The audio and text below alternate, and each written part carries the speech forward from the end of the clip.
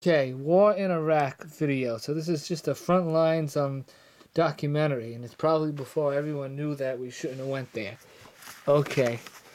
Um, yeah. Let's see. Um, 90 minutes long, interactive menu, extended highlights of President Bush's two speech declaring the. Uh, we all know about that. Let's open it up. Let's see. Is that a, that's a pretty interesting disc. Um, all right. Open this up. Never touched really. Maybe a top with one fingerprint indicating it was touched maybe once to watch.